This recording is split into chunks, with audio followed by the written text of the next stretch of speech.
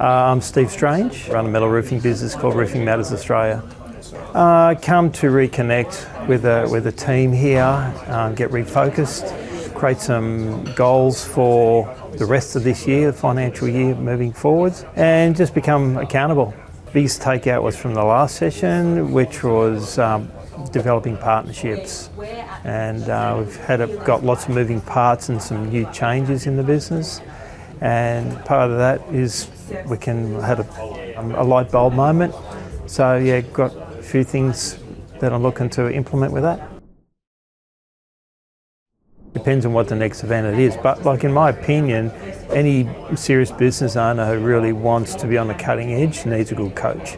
And I find that um, the group here and the, uh, what we sort of go through and discuss really helps sharpen the sword and you really need to be sharp. Everyone's got something to learn.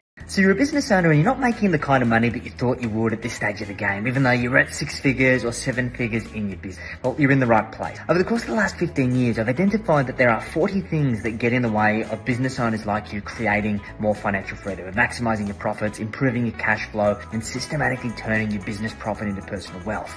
And through having tens of thousands complete our 40 point performance scorecard, the average score is about 18 out of 40, which is below average and pretty abysmal. But the great thing is, that once you complete the scorecard, you'll be able to identify exactly how you're tracking financially and give you a handful of things that is low hanging financial fruit for you in order to get your money working harder for you. So click the link below, complete the scorecard, it should take you about five minutes. It'll give you all of the details that you need to start getting your money working harder for you. Catch you on the other side.